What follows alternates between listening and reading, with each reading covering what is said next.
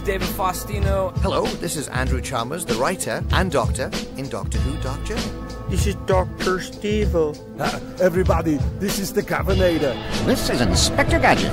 Hey, what's cracking, y'all? It's your boy J Rock. Good evening, folks. This is James Duval. This is Jeremy Taggart. This is Kim Possible. I'm Chris Holden-Ried. Hey, this is Pat Mastroianni from Degrassi. this is the evil Dr. Bad Vibes. Again, this is Messy Bear.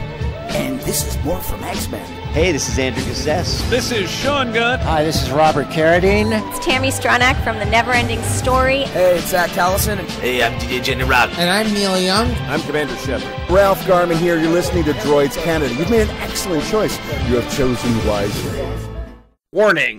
Listener discretion is advised. That means there's a lot of fucking swearing. Hello. Right, I'm here at Frightmare in the Falls, Con Stranger Droids Canada. I am here with Darren of Booze, Guts, and uh, Blood, Guts, blood, and, guts booze. and Booze. Blood, Guts, and Booze.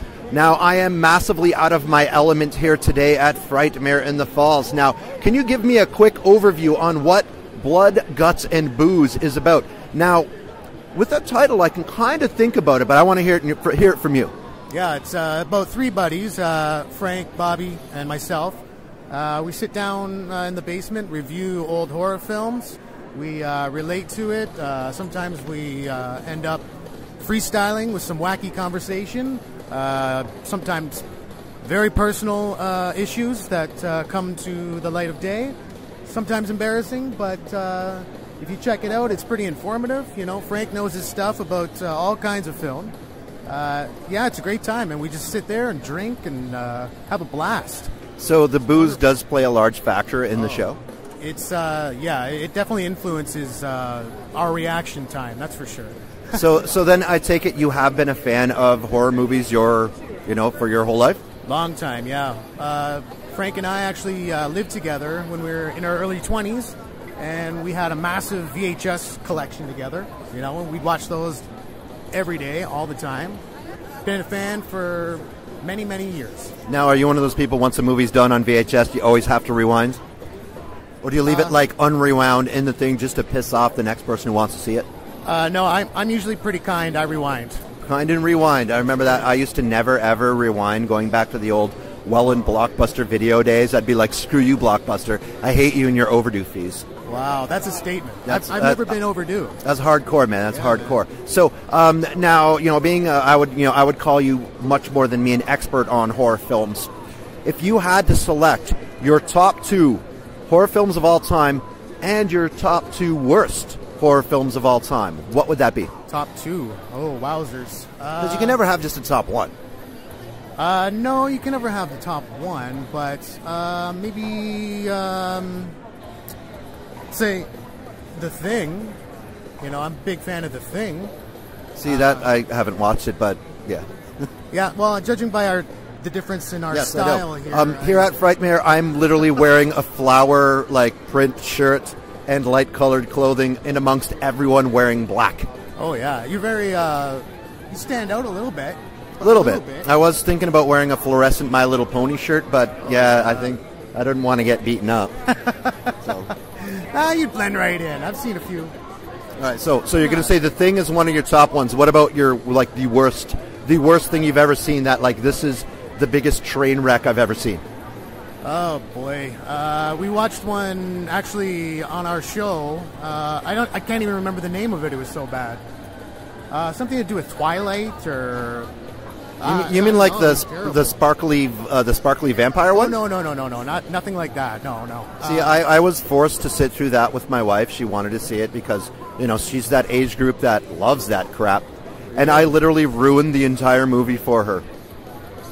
I uh, that's that's probably a good thing actually. No, right? like every single time there's a creepy look that was given, I would send the creepy look to her. She's like, "Stop it! I'm trying to watch the movie." So yeah, I just try to ruin it. So when I don't like something like that, now, um, yeah. now for your criteria for a good horror film, what do you look for in like an epic, epic death?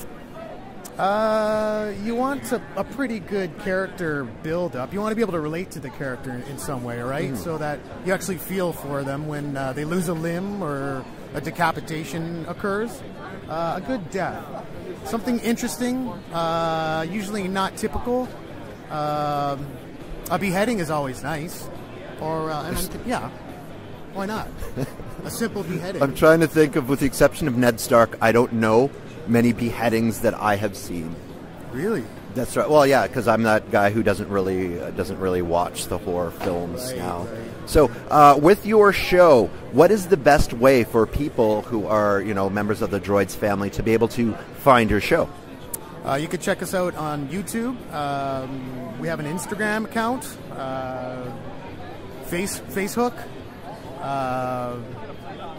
Uh, basically, just type in "blood, guts, and booze" and uh, bingo bango. Bloods, guts, and booze. And I also see here you are here with the tattoo studio as well. Yeah, Sleepy Hollow Studios. Uh, Bobby T, right behind you there. He's promoting his, his work. Really good stuff displayed along the table here. And where is that tattoo studio? That's uh, also in Welland uh, on uh, on East Main Street. Oh, okay, that's the one at the corner, right by the bridge. Is that the corner of the bridge?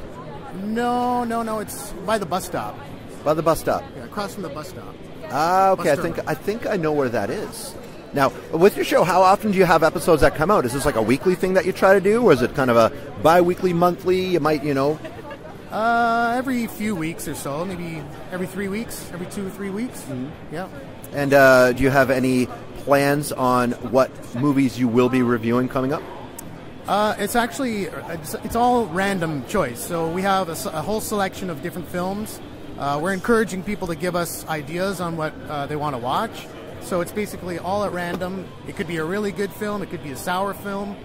Whatever happens, we just kind of right on the spot. Do you find more uh, enjoyment out of some of the more indie, hokey horror films, or do you kind of find more out of the big mainstream, like we're gonna have a, a large budget and scare the crap out of you?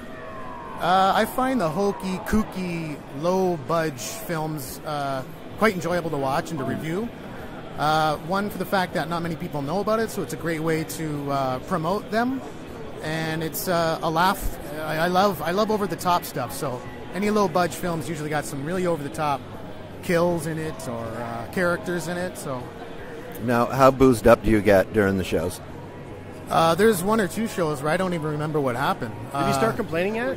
No, You haven't started complaining. There, there hasn't been one one complaint yet. Now we have also now been joined by another member of the Blood, Guts, and Booze family. Frank, how you doing? Good, man. Good. Thanks for uh, having me on this uh, audio recording. No problem. so, so I, I did. I have to pose the same question that I pose here: is is top two horror films all time, Oh. top bottom worst horror films all time. Oh man, that's so difficult. That's so difficult to do. Top two best. I'm an Evil Dead fan, so I gotta say, what Evil Dead Two, and I, I'd have to say the trilogy. I, I can't pick one of them. So I I will select the trilogy as one. I am now recently just been introduced to uh, Ash versus Evil Dead, which has been turned into my show Dan versus Evil Dead, where I watch and I get freaked out, and I even have a T-shirt, which is just my face on Ash's body with my dumb mug, and it's actually quite funny. Now, um, how do you think the TV show Ash versus Evil Dead pairs uh, fares in comparison to the original Evil Dead movie? I thought they did a fantastic job. Fantastic. It was all the original creators, so it's very uh, true to the original.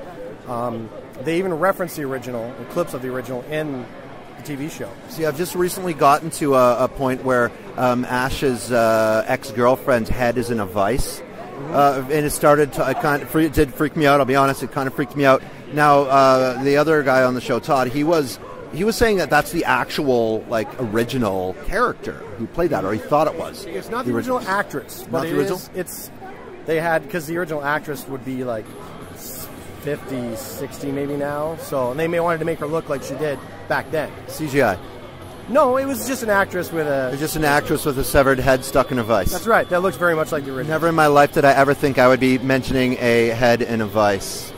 It's useful. It's useful. If you, uh, you need some head, right? God, that's a, there's a good no. That's a good that, that that's a good wrestling reference there.